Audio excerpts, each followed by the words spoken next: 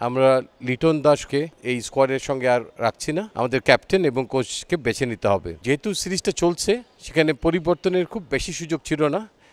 তবে নতুন বলে খুবই অধারাবাহিক হওয়ার কারণে আমরা লিটন দাসকে এই স্কোয়াডের সঙ্গে আর রাখছি না।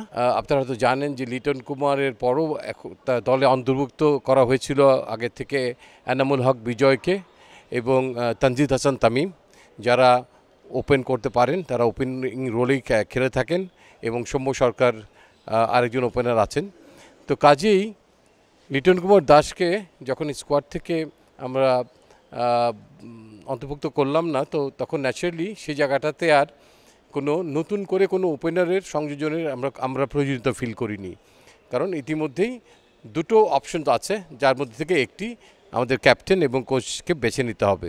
এই সিলেকশন প্রক্রিয়া ডেফিনেটলি কোচ ক্যাপ্টেনের মতামত নিয়েছি এবং আমরা দেখেছি যে লিডেন কুমার দাসের পরিবর্তে দলে যদি মিডল অর্ডারে কাউকে সংযোজন করা যায়, কারণ মিডল অর্ডারে সেখানে একটি গ্যাপ আছে সেখানে আমরা জাকির আলী অনেককে মনে করেছি wicket keeper batsman as well wicket keeper যে তিনি এই জায়গায় অ্যাপ্রোপ্রিয়েট হবেন।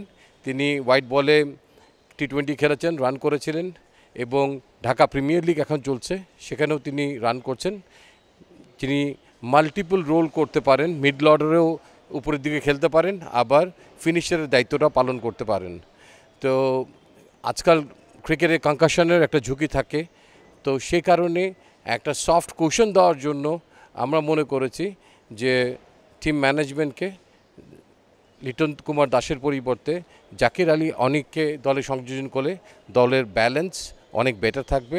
কারণ তৃতীয় ম্যাচটা ডে নাইট ম্যাচ হচ্ছে না, এটা সকাল দশটায় শুরু হচ্ছে মানে পুরো দিনের ম্যাচ তো সেই আলোকে আমরা মনে করছি যে জাকির আলী অনেক এই জায়গার জন্য মোস্ট ডিজার্ভিং ক্যান্ডিডেট এই একটি পরিবর্তনই আমরা জাতীয় দলের তৃতীয় একদিনের ম্যাচ শ্রীলঙ্কার বিপক্ষে করেছি।